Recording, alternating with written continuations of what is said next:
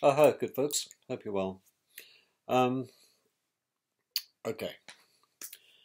Thank you for your continued support and your subscriptions. If you haven't already done so, I appreciate your subscribing. Every little helps.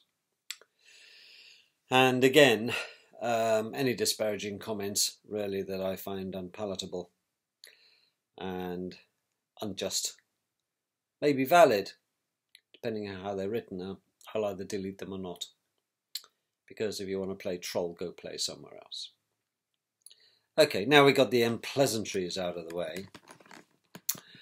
Um, folks, I've been doing these videos now for nearly three years on and off and have had different things happen in my life, two of them being life-threatening, I suppose, well, certainly one of them. But one of them, well, there are certain things that happen in one's life, I suppose, that um, hmm, never leave you. Of course, it's the same for everybody. There are certain things that, if only you could turn the clock back. And then you play if onlys, don't you? If only I'd done this, if only I'd done that, it wouldn't have happened, and various other things. And I think it only fair now at this stage that I'm legally not obliged to be quiet about this. And looking at a lot of the recent requests I've had, not only from people on YouTube, but from other forums, to when am I going to put my side of this affair? That we're going to be talking about and my feelings. Not just my feelings, but the feelings of my family. And yet I was constrained because of certain legal obligations, but now I understand today that I am now free of those obligations, so I can sing like a canary.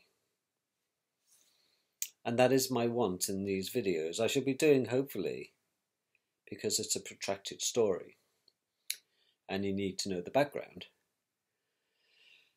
And I hope it's of interest to you, since it was interesting to certainly in excess of 15 million people in the United Kingdom and many throughout the world, strangely enough. I would point out that I made no financial gain in any association with this family issue. And it sounds like Downton Abbey, doesn't it? But it's not. If only. I wish it were. So I'll just adjust you for a while. So I'm now in a state that I can I can sing like a canary legally, and I think it's about time that people really did know the truth. And what I'm talking about is that as I say, it's quite a protracted set of videos. I'll be doing as many videos as it takes to get to the whole story, the truth and nothing but the truth. Which in the UK legal system would make a bloody change. Wouldn't it?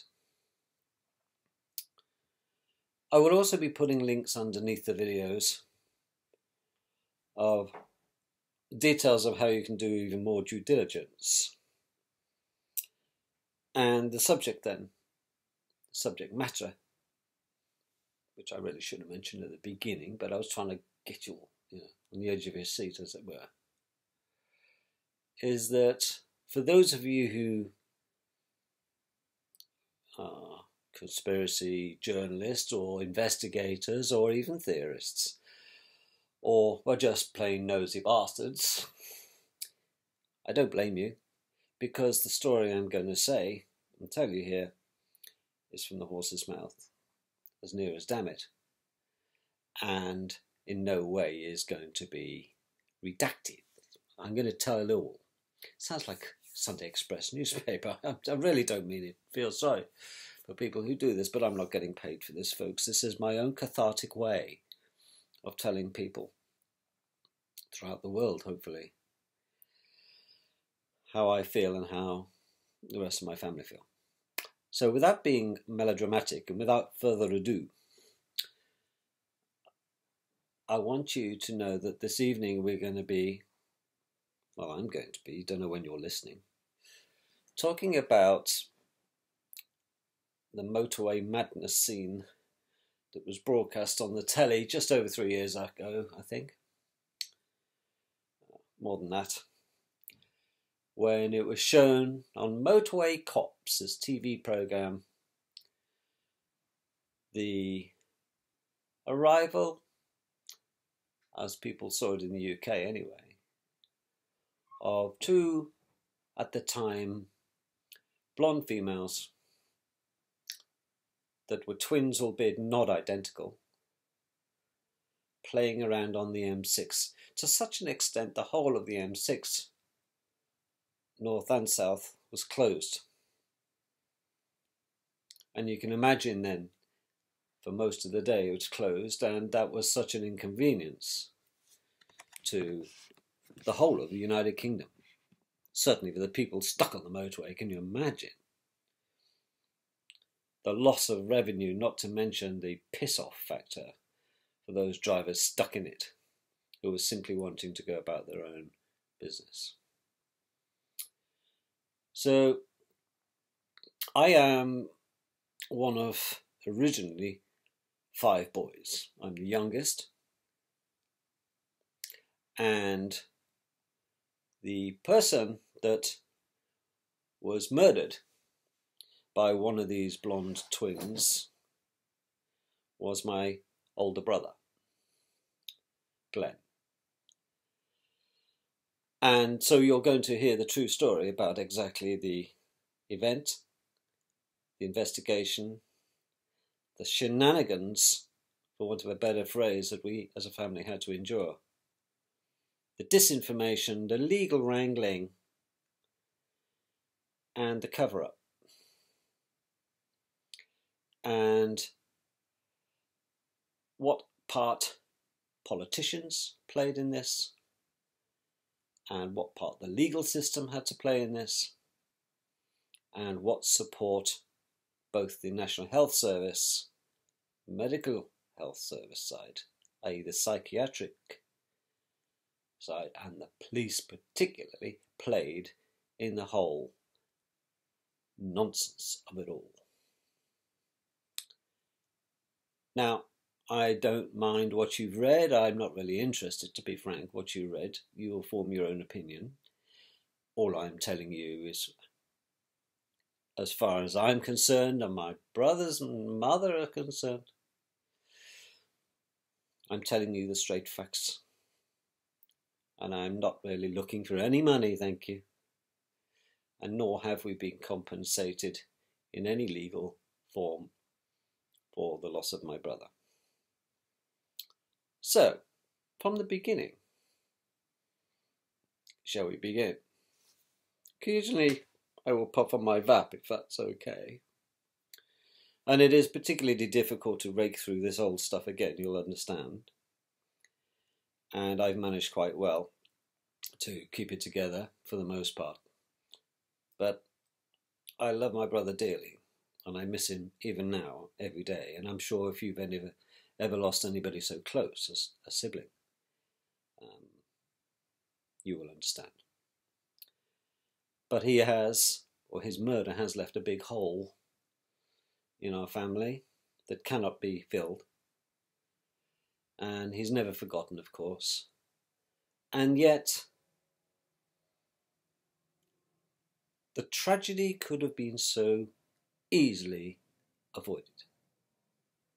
But hindsight, folks, as we know, is 2020 vision.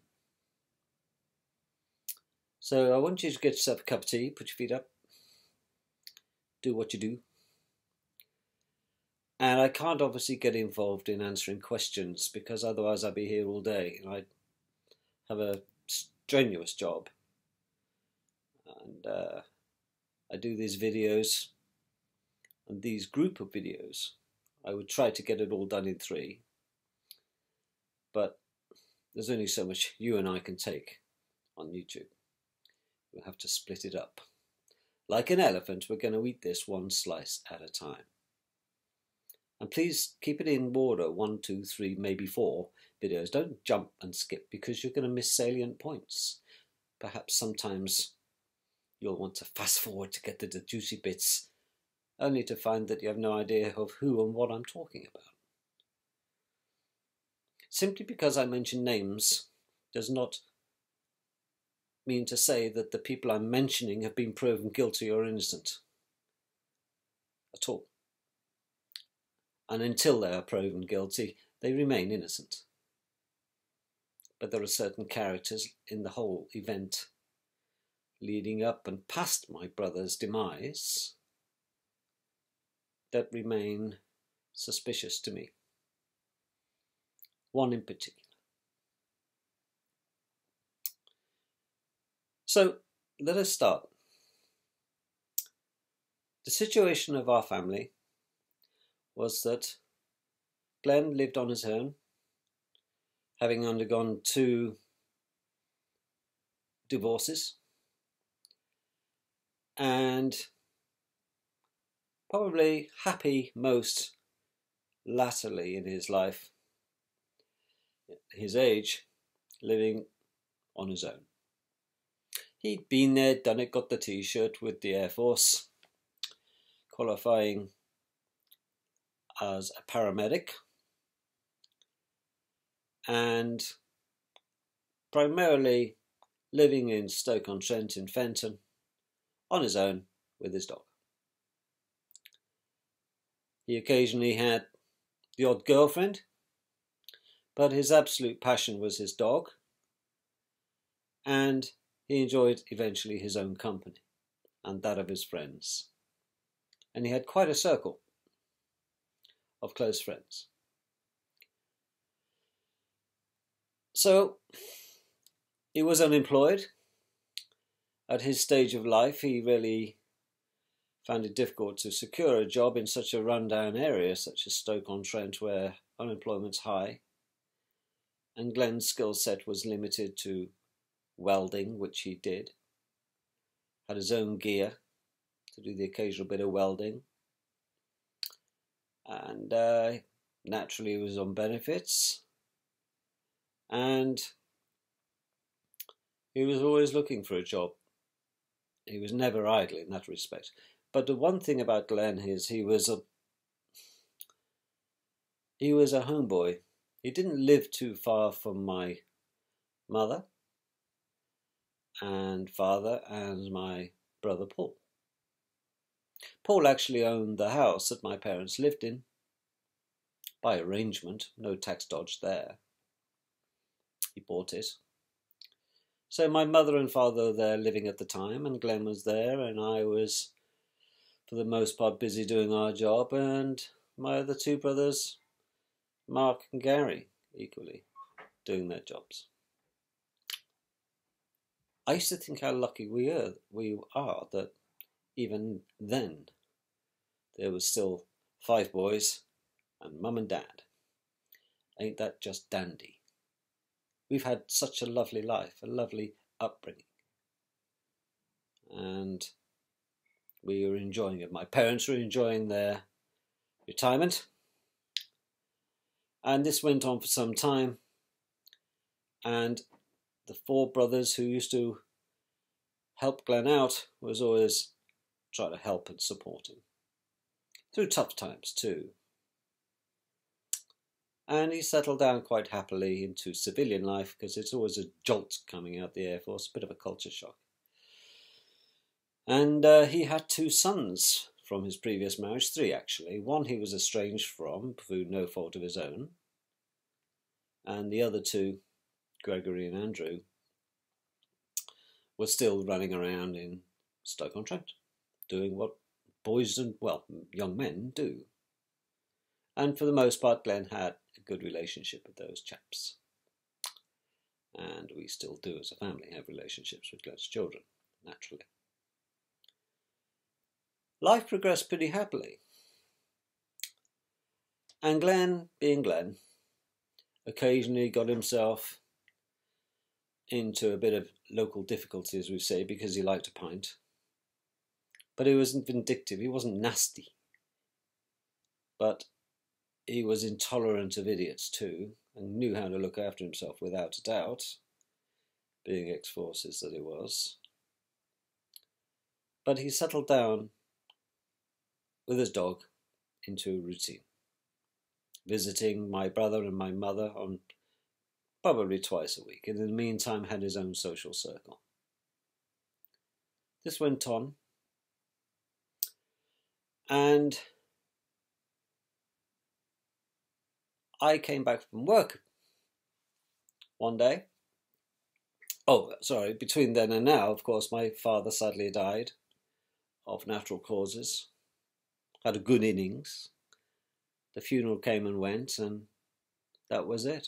It was all uh, the whole family's efforts, of course, is to support my mother, who was obviously reeling from losing her husband of so many years.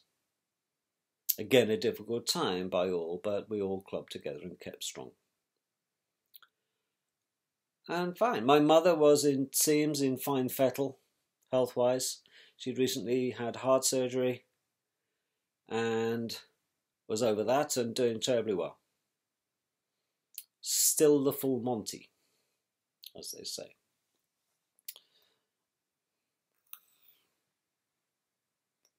Sometime later, maybe 18 months down the line,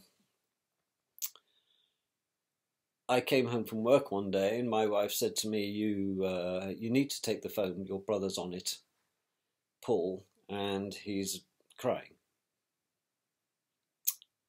And you you know I I I live nearly two hours away from my brother who lives at Stoke on Trent. And I thought, oh goodness me! I looked at my wife and she just went like this, you know. I said, What did he say? And she said, Well, he didn't really speak much. He's too busy crying.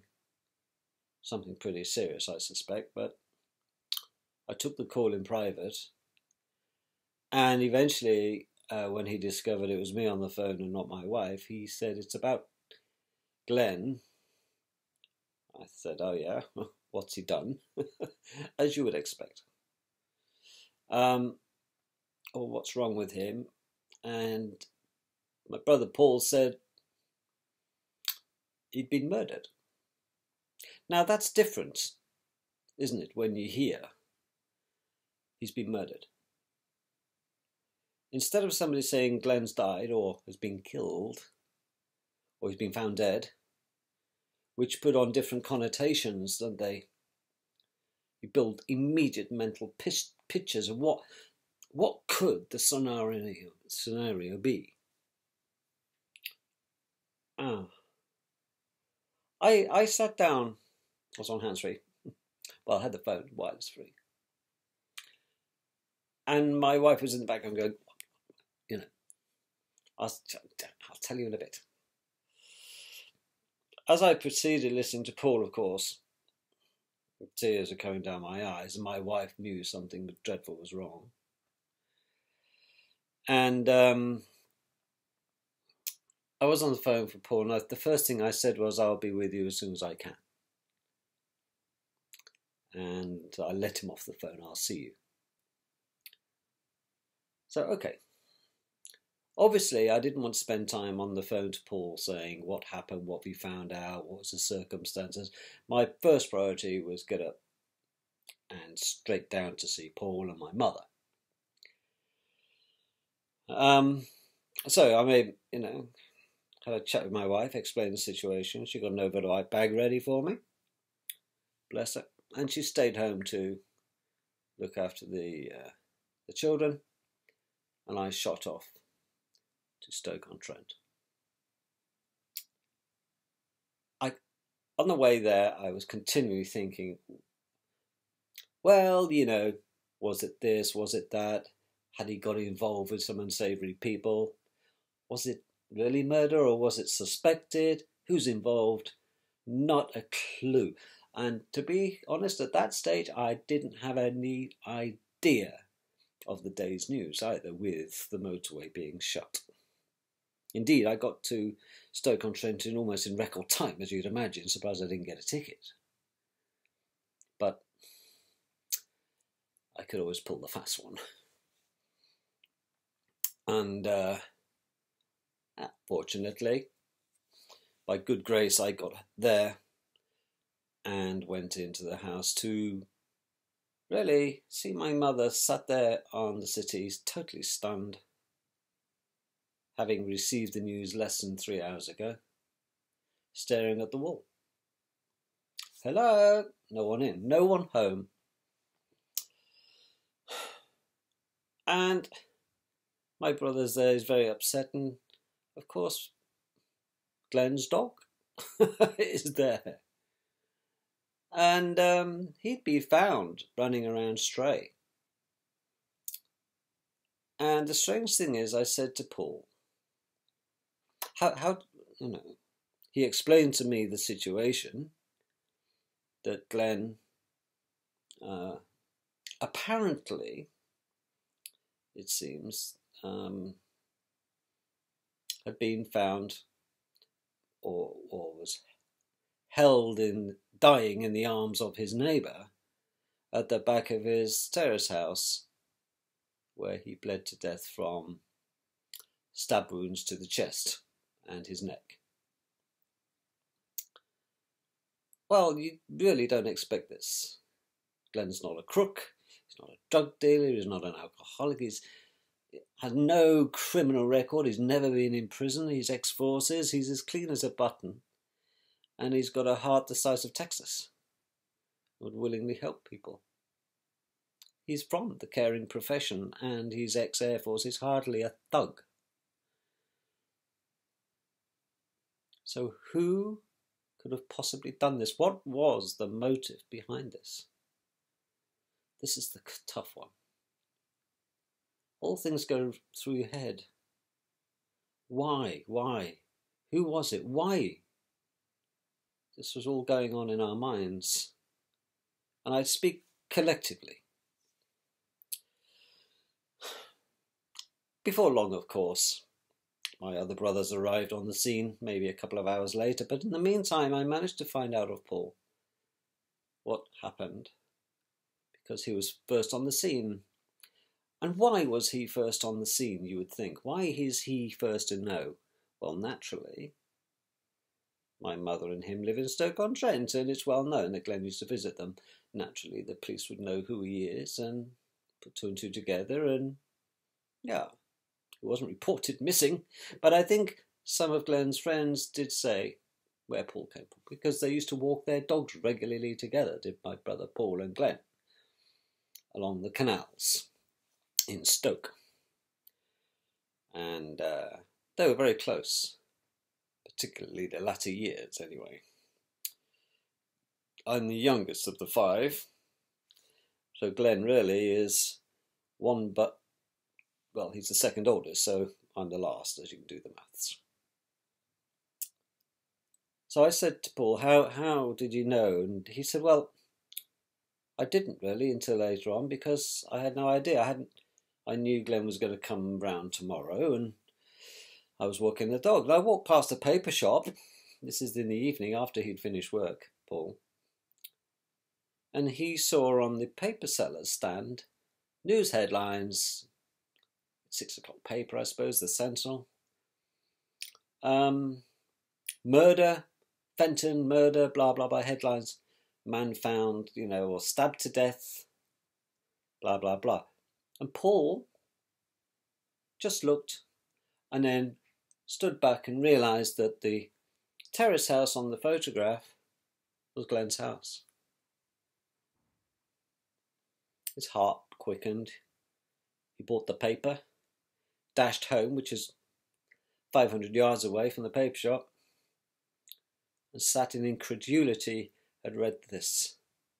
He immediately, he didn't tell my mother at this stage, he immediately drove to Glenn's house, which is 10 minutes high speed, to be greeted by lots of coppers saying, Who are you? The whole of Glenn's place was cordoned off. You couldn't get round the back of his house.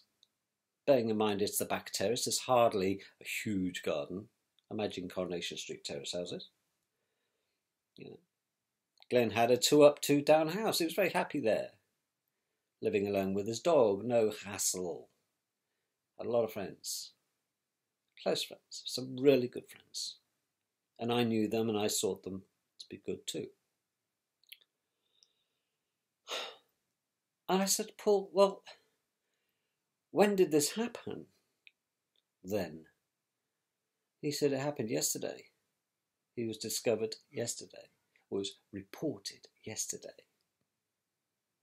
Thought, well, how come we haven't been told? How come, Paul, you found out from a newspaper and they were told, and the whole of Staffordshire, including the rest of this country online, were told about this before the family? That's a bit odd, isn't it?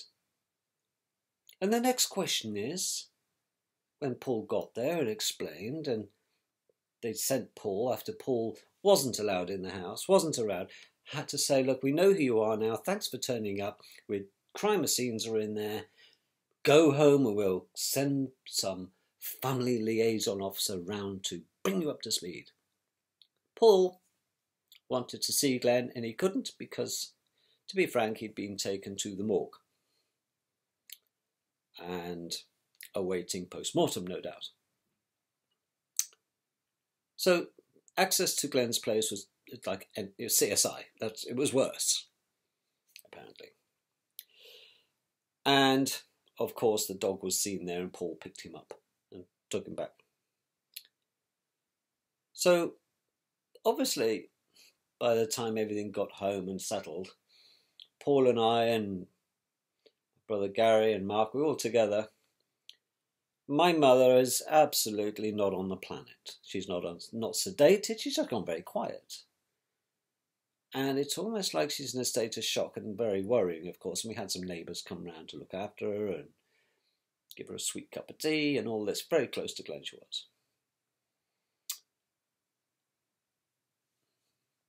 They were they were extremely close. So we're thinking, well, the biggest paralysis we have in a family is not knowing what the hell's going on. Who did it? Who did it? And the only thing Paul said to me at the time, in fact, the other brothers as well, we sat there having a coffee, reeling at the cheek of this newspaper. How dare they publish this without telling the family? Because they discovered who Glenn was. They'd had his name from friends. And yet, somebody in the police, or the scene of crimes, or that area, somebody had must, in the police force, let slip who it was, what the injuries were. Was it a man or a woman who was the deceased, the victim? Somebody blabbed from the police and the scene of crime. Difficult to find out who. But who else has access? It certainly wasn't the neighbour whose arms Glenn had died in, which we'll come to later. So it's like Cluedo. We were trying to put these pieces together, but the seething anger inside, particularly me, about this. This isn't right. Some head has to roll about this. But it, put it to the back of the mind because it was hardly on a priority thing to sort out, but I would make a note that I will find out or by crook who told the press.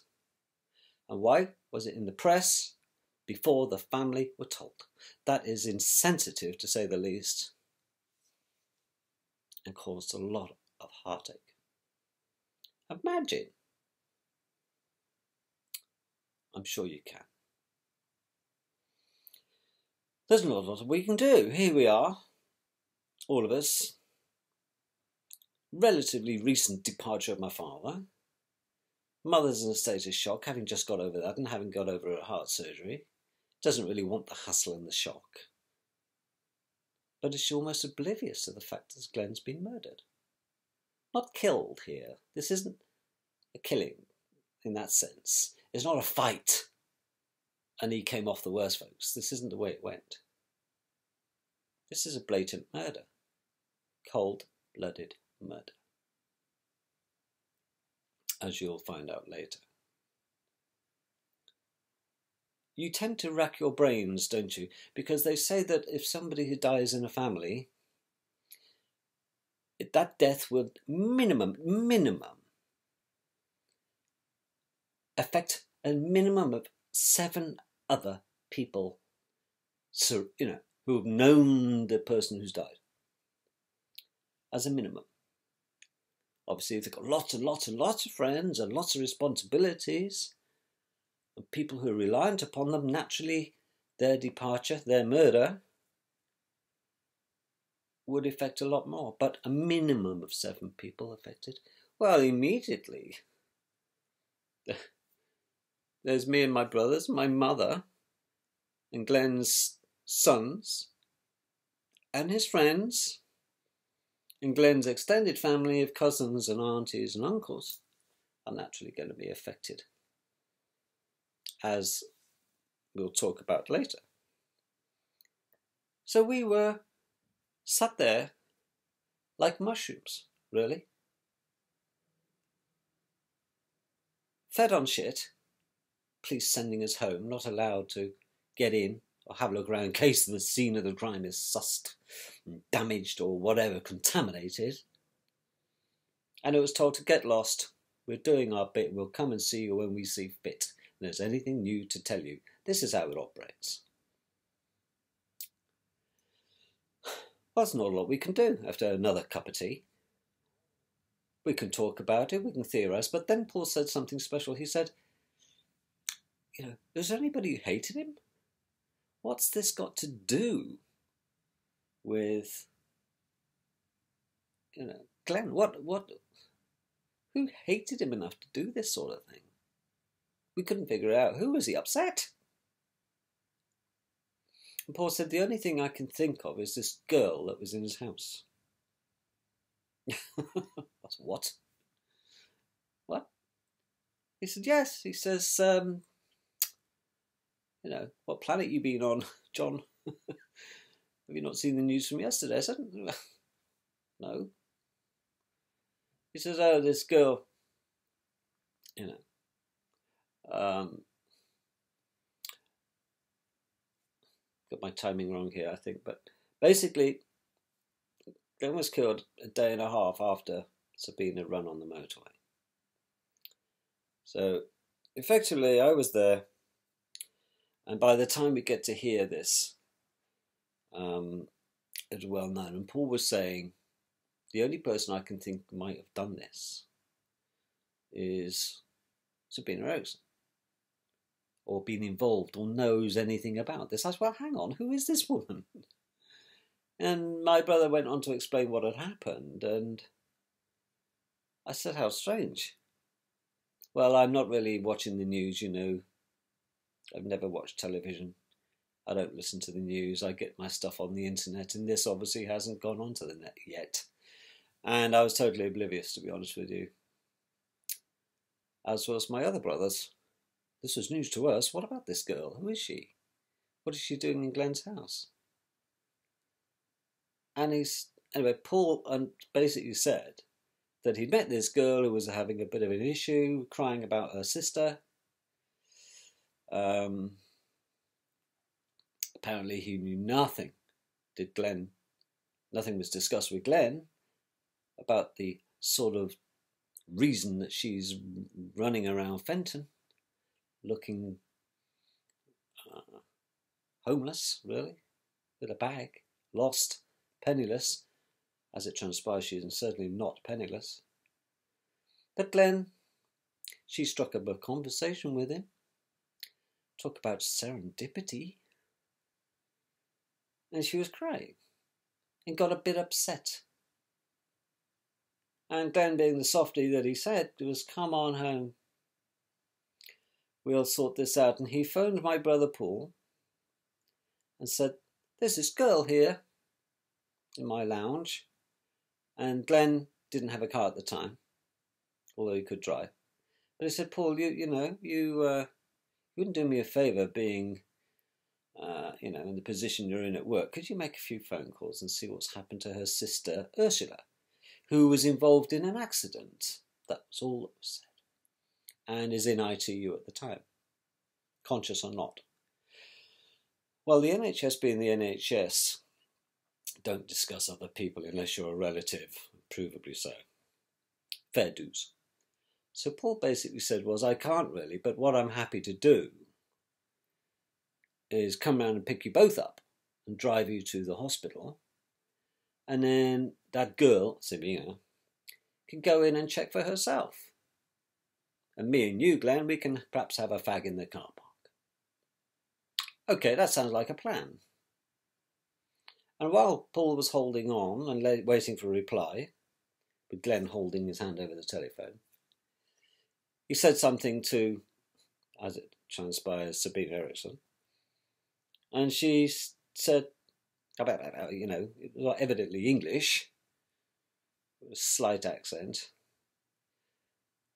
And Glenn said, Well, she seems to be too tired now, so she'll perhaps go tomorrow, but thanks for the offer. See you tomorrow, click. Last words to Paul. Thanks anyway, mate. See you tomorrow, click. That was it. That's the last words that Paul heard of his brother. So we can now, I suppose, as a family, think, well, when did this death happen? It happened between the yesterday morning, late morning, and early on the day they found him and was reported dead by his neighbour whose arms he died on and that would be the police's job to look all that. I mean, as a family, we just knew he was dead, and he'd been. It was um, something fishy going on, and was it this girl? Who is this girl? We eventually, after a late night and a lot of drinking, yeah, to get to sleep, we couldn't sleep any of us. My mother was still in a state of shock. A morning come and knock, knock, knock at the door. Police car outside. I thought, oh, I wonder if there's any news, as you do. Excuse me a second, folks.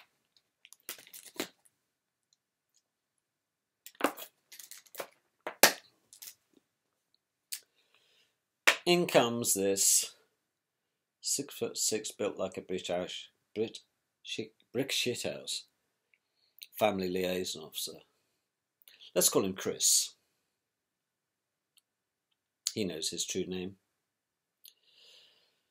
And I'd never heard of such people, family liaison. officer. I mean, I'd never been in trouble in my life with the uh, boys in blue. And uh, I can't get in trouble with the boys in blue. I'd be out of the jobs that I do. So, I'm one of those unfortunates who cannot have a police record in their job of any kind Gotta watch it. So,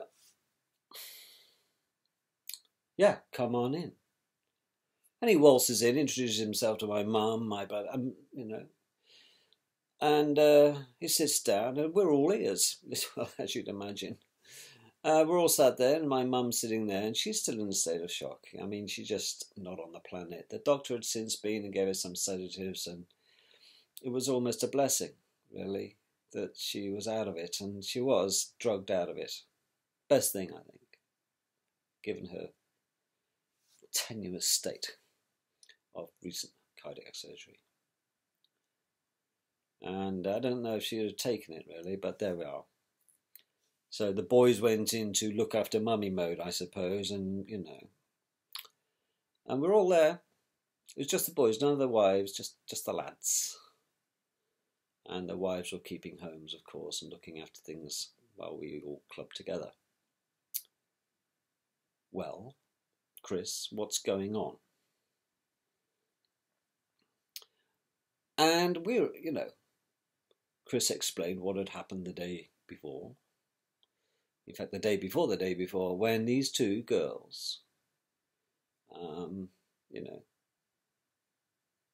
they suspect that they did know that Sabina had been helped by Glenn uh, during uh, just after the time she was ejected from Fenton Magistrates Court and being charged with an affray, about a £15 fine. And that's for bringing the motorway of Britain's main artery, North, M6 North, and southbound to a complete halt all day. Not to mention messing around on the motorway and causing havoc and punching a female police officer televised. Get that? Televised. You've all seen it, I'm sure. You've seen by now, if you haven't watched the links below, of the actual arrest of these two girls, women, on the M6 by the police, who just happened to, on that same day, what a coincidence, nothing to worry about, have a film crew in the back of the car. Well, there we go. What a coincidence. Well, there were so many questions. You open a folder and write the questions down, one after the other after the other. These are the questions we're going to be hammering at, shooting at. Chris, the family liaison officer, we want answers. Of course we do. You would. I want to know why she did it. If it was her, what proof do they have? Did she have a grudge? Did she know him? Did he know her? all these questions. We're grasping at straws because we know nothing, and the police are not telling us a thing. Where are they from? One minute they're Swedish. Next minute we've been told they're from Southern Ireland, maybe Cork. Oh no, we're back to Swedes again now. But one of them lives in America, Ursula. Where's this other one live then? Are they really sisters? Are they really twins? Are they really Swedish? Or did they have an Irish accent? Or is it all a big game for them two girls? Where are they? Like, spring out of fresh air. Where do they come from? Are, do they have a police history? Are they looking at the film Super Soldiers? Certainly not. Ursula, she wrapped her legs around a back wheel of a lorry and ended up in intensive care, never to dance in the Dancing on Ice program again, I dare say. Critically ill. And here, her sister, after witnessing her sister, Eric Ursula, dive under in the fast lane of a lorry, of course, Sabina decides to go one better, perhaps, and jump in front of a car in the slow lane as a police person or whoever it was stopping her, jumping. She slipped out of the code of magic colours and smack got hit by a car in a slow lane, being knocked unconscious. The person driving the car, coincidentally, that hit Sabina was a doctor from North Staffs Hospital. What a surprise! Genuine coincidence. Sabina, we know, was knocked unconscious. This was all caught on police camera and put on the telly. You'll see it in the video. There were theories all over the place. Bearing in mind Glenn was alive and kicking when this was going on, happy doing his thing. Okay. So let's just put him to one side for a moment and look at the events on the motorway. I don't know if you know Keele. The most famous thing about Keele is the municipal golf course, as I'm uh, reliably told. And the second famous thing is the university, which is where the Open University summer camps happen. Yes, it's a bit like Bohemian Grove with carpets. And it's a mixed race, it's not just boys. So those doing the Open University go there for a summer bash. I mean, nobody really truly admits getting a degree from Keele. You know what I mean? Anyway, without being cruel to Keele, these two girls, it transpires as this is the this is the police story, okay, which we will correct later. But I want you to see the disparity between what we were told and what actually is the truth. But you'd expect the truth out of the police, wouldn't you? Call me old fashioned, Your Honour. Oh, yes, boys in blue, they don't lie, do they? Heaven forbid. No, no, no, far too ethical. Dead straight, everything by the book. On the 15th of December, Your Honour, you know, they've got a little book and they can't deviate, can they? What's in the book? It's in the book. That's it. Thank you, PC Plod. Now you can leave court. Thank you. Leave it to the grown-ups now. Off you go. Well, there's a strange thing. Is that the CCTV cameras then were, it transpires. I mean, there's nothing like hindsight 2020 vision, is there? But this is found later, but what I'm telling you in advance so you can put the puzzles together.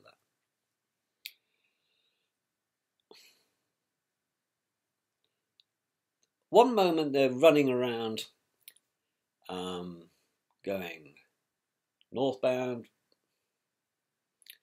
and they were ejected. Apparently, they were coming on their way down to London from Liverpool, having got the ferry, and the night before, apparently stayed the night in Liverpool, and then jumped across town, got on a National Express bus, and towards London. Apparently, they had tickets destined for London, these two. And they were loud and boisterous on the boat. On the um, uh, one would assume if they'd come from Ireland, of course, they'd been on the ferry and you know stayed the night in uh, Liverpool. Don't blame them, great city. And here they come, trudging down on a National Express bus. The driver was getting wholly irritated with these two. Sabina and Ursula. First of all, they looked suspicious because they wouldn't put their hand baggage, that's all they were carrying, and Sabina was holding her baggage by her chest like some baby being protected, as though she's carrying something rather valuable, which she was. Including a laptop, of course, and other things we'll talk later. Her sister was travelling a bit lighter, and um, they were so boisterous and offensive on the bus that the National Express bus, which doesn't normally make a scheduled stop at Keele services, folks, was so angry with the pair of them he stopped and kicked them off the bus unceremoniously. And when he was asked why, he said because they were offending and getting quite noisy and aggressive and mouthy. They weren't drunk. They were just gobbing off and making fun of everybody. And he wasn't going to have it. So he ditched them and run and left these two maniacs, the two girls, stranded at the services. Picked up, I might add, on CCTV. During their messing around and having a cigarette, it seems that Ursula and her sister, Sabina, were making idiots of themselves in the car park and approached the shopping centre type or coffee bar um, maybe to go and get a coffee. Who knows, eh? Stranger things happen at sea. And yet they were noticed acting before they went in as rather peculiar by the security staff of the um, services. And the manager was called, and the manager went on to phone the police and say, There's two girls running around. They've gone around the back of the services where no general public go they're snooping about and they're looking like they want to bury something, like they're carrying a bomb, and I'm sure they've got an Irish accent. Well, you can imagine, can't you? Look at the fuss that happened down the toll road with some guy's cigarette electric fag caught fire, didn't it, apparently? And they shut the bloody toll road all day because some guy's electric fag apparently caused smoking on a bus. Heaven forbid. No, he was trying to quit. But they shut it, didn't they? Think it was a bomb, a terrorist activity, you know, and it wasn't his electric cigarette, allegedly. What a fuss. Well, can you imagine if that call's being called then into the police? That Laurel and Hardy get off their ass after eating their burgers in Burger King and come and blue light themselves up to Sabina and Ursula to say what the fuck's going on and get in the car and what are you doing on the motorway? Get off, I will take you off and dump you. You're tr- causing trouble. No, what happened was Billy and Bobby, the flower pot men, turn up, still wiping the tomato sauce off their chops, no doubt, pissed off they had to leave a few chips. Asked the girls, apparently in full earshot of the manager of that place, the Keele services, and saying, you know, who are you? What are you doing here? Blah, blah, blah. Not one request to see their ID. Not one. What's your plan? Oh, we're going down to, you know, whatever they said. Mumble, mumble. They were told, get this, to get their way and leave the service station. Now, whether Billy and Bobby assumed that Ursula and her sister had a car in the car park or just simply pissing about, no. So what do they do? They get in their car, their police car, and woof, they're off again. They're so busy, aren't they? Laurel and Hardy. Obviously, seeing if they can get back and get in the bin and get their burgers out that have been thrown out 25 minutes earlier. And Sabina and her sister proceeded then to carry on walking, get this, southbound. Oh, sorry, I beg your pardon, northbound. At the same place the bus dropped him off. Why were they going northbound if they were intending to go to London? They're not thick, these two. Trust me. Wow. What is the attraction for them to walk northbound? And remember, I said they're not stupid, as it transpires. Who were they trying to get to? Why were they trying to get there?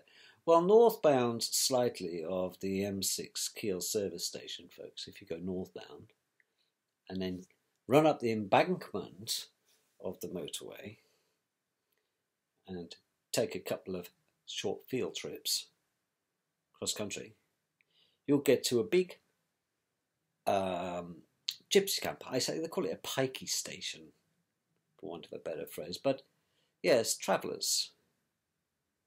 And these are the major major encampment, I suppose, of travellers, from what I've been gathering, of the piking fraternity, yes, the travelling community, which it transpires was the originating point of Sabina and her sister. Hmm. Well, there we go. They must know that tinkers tend to look after each other, and that's where they're going. But they had enough money to go to a hotel, Holiday Inn or something, or, or just get a taxi. Or why didn't the police escort them off and find them the nearest bus station in Hanley and Stoke-on-Trent to get them on another bus, or indeed take them further south to Stafford and let them get a bus there, if London was truly their destination. No, no, no, no, no. They were left like catch and release fish. But a little bit of history we weren't told at the time is this isn't the first involvement that Sabina and her sister had had with the police since arriving on the UK shores. What do I mean by that? Well, first of all, apparently they came on a ferry, unremarkable journey, and made a beeline for the local, get this, the local police station.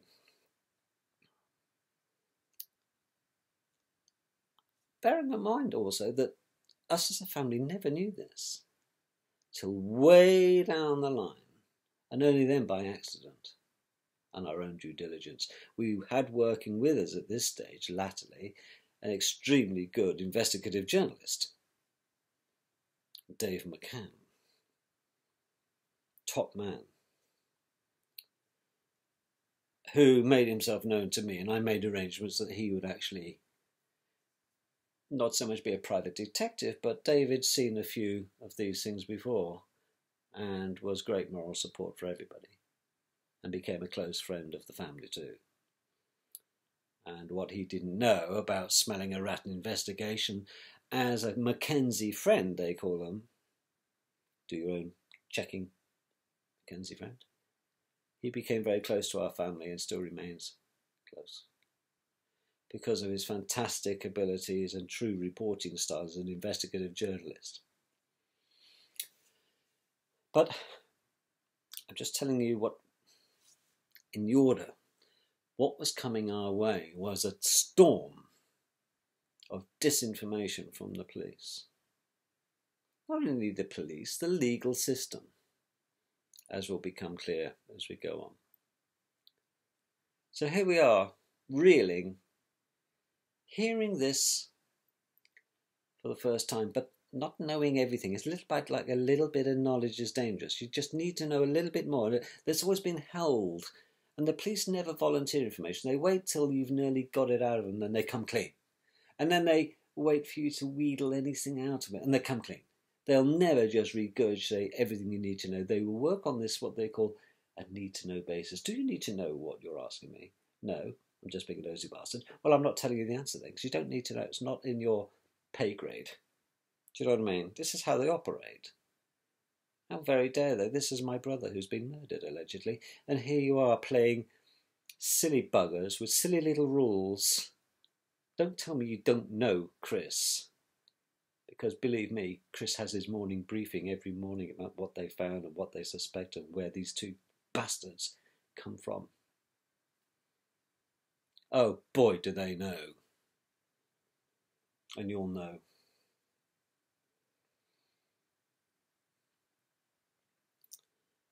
Upon arrival off the ferry, the first thing these two girls do, I say girls in a loose sense, folks, maniacs, is they walk into the local police station, caught on CCTV in Liverpool, and Sabina jumps up onto the counter. Well, bugger me. Most people go and stand there quite politely and say, Can I help you? Yes, please, officer, I've got this, that, the other problem. No, she jumps up on the counter. Much to the surprise of the sergeant at the desk, and, well, now you're here, you may as well say what you want. Or he said it in Liverpudlian. And she claimed that she'd been uh, and running away from there, being chased by by these horrible people in Ireland, been chasing them to kill them, and they're in fear of their lives. And furthermore, Sabina has a child in a caravan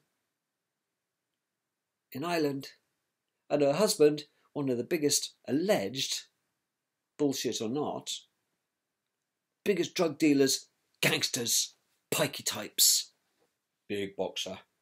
Uh, and he's six foot six and he's black. And he's, he's after us. We're on the run. We're on the run. We need help. We need help. The police took notes.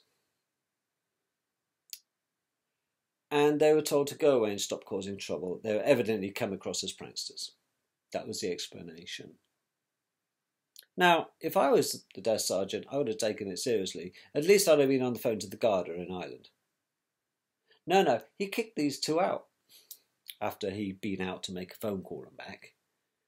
And he said, Oh, you know, look, I know about you two. Get out. You're always causing trouble. Explain that one. Much to the annoyance of Sabina.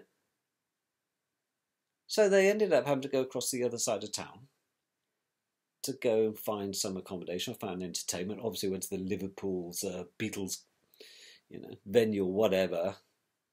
And then that morning, they pissed off to get the National Express bus. Okay, so there is evidence of them getting off the ferry, going into a police station. Sabina acting strange. Okay, being pulled out, being told to fuck off by the police. Go and grow up and stop causing trouble. We know all about you two. Off you go despite Sabina's claims that her son had been kidnapped, being held hostage by the biggest nasty bastard in Ireland.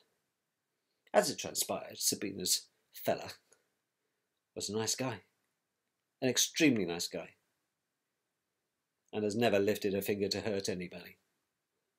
Furthermore, she doesn't have a little kid. There we go. She has a son, but not little. Not little. We're not talking spring lamb, Sabina Eriksson here.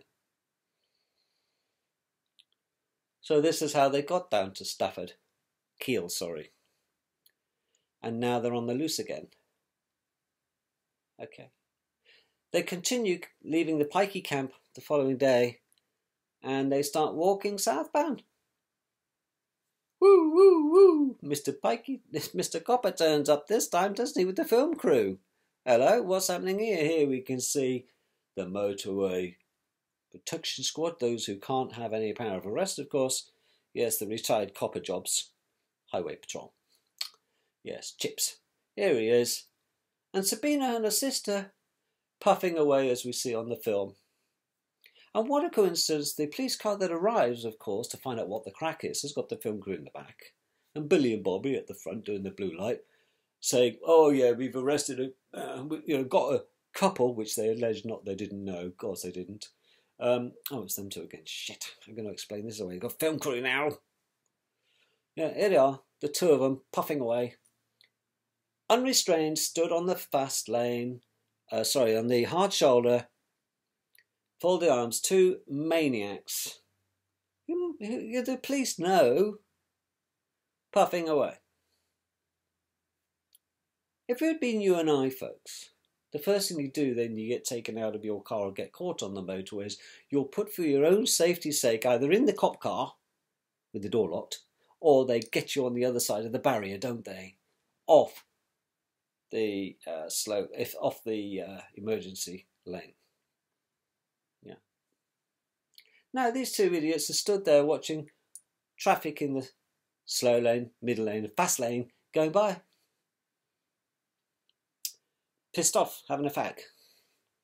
And while Billy and Bobby are getting chatted to by the brain cell and the film crew, suddenly Ursula decides to run, run, run, much to the oh my god of the coppers gets caught on camera running straight under the path, heck of a run, right in front of an articulated, articulated lorry, smashes his brakes on, frightens the life out of him, dunk, dunk, dunk, dunk, and she gets wrapped around the rear tyre of the juggernaut. And amazing, talk about luck of the devil, she's not dead. Sabina, as her sister's just about to hit the lorry in the fast lane, equally goes to run also like she's following her and gets caught short by the woman or somebody who was holding on to a coat. And she slipped out of the coat and run bang into the path of the car coming in the slow lane. Hit, hit the windscreen, smashed, knocked unconscious. Fortunately, the car in the slow lane driven by a sensible person who was rubbernecking as well, of course. Um, didn't expect Sabina jumping in front of her, but I think Sabina was heading for another faster, faster lane, but got caught short. Nonetheless, she gets ending up face down on the floor, unconscious. Naturally, priority has to go then with the whole motorway stopped, of course. Everybody's curious, blue lights going on. People go, oh my god, oh my god, what's going on? And everyone's looking at Ursula and the poor, poor man whose life was destroyed. The lorry driver. Can you imagine? Sit there saying it wasn't me, Guff. And we, you know, we know, don't worry. She was evidently keen on committing suicide and doing a run. Maybe she would have got to the other side. Was it was it uh, Russian roulette? Was it like uh, Death Race 2000 or something? What? Playing chicken? No, the motorway on the M6 northbound at that time is very busy. So it was an evident suicide attempt, I think. Why? Why? When they had an agenda to go to London, yet here they are trying to knock themselves off. It was an evident suicide attack uh, attempt to me. And Ursula was leading the way as the dominant twin, I think. I say they weren't identical twins and Sabina followed. And Sabina was kept covered up, of course. We saw the film, you just watched the video, I don't have to repeat it for you. And there's all sorts going on. And Sabina refuses to be withheld once she regains consciousness. The amazing thing about this woman is that if it had been you and I, oh, we would have gone, oh, my head. Oh, God, where am I? Am I dead? You know, no, no, no. She doesn't want to be restrained. She gets up as though she's tripped up in Tesco's uh, brushes herself off and starts to create a problem. She then realizes, and she doesn't want to be restrained, she keeps asking for the police. Where's the police? Well, hello, got badge, look, police. And I'm sure she can read English. But no, she just sees fluorescent jackets and who are all these people? What's going on? Well, and she does a run after they try to restrain this maniac again. Now, you could be forgiven to say, is she on drugs? Is she, is she on, what's gone on? You're walking down the bloody motorway quite happy, pissing people off, maybe, waving and clipping people's wing mirrors as they drive by. And that's why they were stopped and pulled onto the hard shoulder. But they were there, two girls having a fag. Do you normally leave two women on the edge of the motorway having a fag that have previously day been kicked off the service station for dodgy behaviour by Billy and Bobby from the beef burger shop? Hmm. How many times do they need to be told, these two, to get the fuck off the motorway and what they're doing here? Why, why don't they get rid of these two? No, one ends up, doesn't she, Ursula, straight down to North Staffs Royal Infirmary Trauma Unit. Absolutely unconscious. Like a bag of spanners in bits. Not that bad. She had a big muscle missing on the back of her calf at one stage, I knew. But I didn't pay any heed. But Sabina's a different game. Sabina, it seems, and this was caught on film, jumped over the central reservation of the opposite traffic and was chased by, or tried to stop jumping over the central reservation by a female copper who got decked in one punch.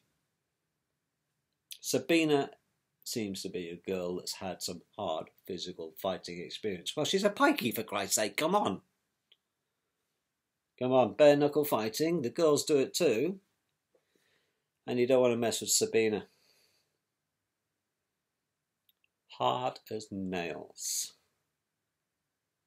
Now, thus, I'm not saying she's a super soldier or something strange. Is she an idea? You know, she's something like just arrived on the planet like a fucking beam of light, and here they are, these two. No, there's a history to this woman, which we'll find out later. It'll blow your mind, as it blew ours. She clocks this female in one punch. A woman police constable. You and I had done it, we'd be in the nick. We'd have had 10 coppers on us spraying CS gas in our face with tasers. And these, poli- these police, by the way, they have arms, armed response units, folks. And here they are, fighting. It took six police and members of the general public to get Sabina back over the uh, dividing line of the motorway, Central Reservation, and handcuffed to such an extent she could be rumbled in the police car. And off she went. But she was taken straight away, not to the police station. She was taken for a medical checkup because the police have what they call a duty of care, of course. You see? And she gets taken into A&E hospital. She actually, amazing, is video cameraed and seen chatting quite happily with PC Plod, who's taking her to A&E. It wasn't an ambulance. Where she gets out casually and is flirting with the copper. Goes into A&E and refuses treatment point blank. Wants to know, where's my sister? Where's my sister? Nothing wrong with me. Leave me alone. I don't want any treatment. I'm not hurt at all. This is a woman who was hit by at least a 30 mile an hour car and smashed her head hard against that window and was knocked unconscious. Now, I know because I'm into medicine. I know the procedure of admitting trauma patients. I know the procedure of trauma surgery and where the end lies. But equally, the hospital by law has a duty of care, as the police do any public servant does who's interacting with the public. In a caring profession, you have a duty of care. For priority must be to the patient. The moment Sabina walks into that trust and gets logged on, she is a patient. That patient, in order to unlog, has to sign a release form releasing the trust from all responsibility if Sabina refuses treatment, which she does. Not only that, she spits on the staff, she's aggressive, in for a fight, and does not want treatment. And all, get this, doesn't even mention her sister. That comes from good authority from the one of the nurses that was present during Sabina's little visit to A&E at North Staffs Hospital. She was released back into the custody of the police. Oh ho ho! Film crew at the ready. Off she goes to the police cell. Okay. Knowing that the following morning she'd be appearing in court if before then, of course, she'll be deemed fit to appear. Now, who is responsible for medically checking to see if a loony, I use the word loosely, a violent person like Sabina Eriksson is mentally fit, mentally and physically fit enough to attend court in front of the big in the morning in the magistrates? On what charges?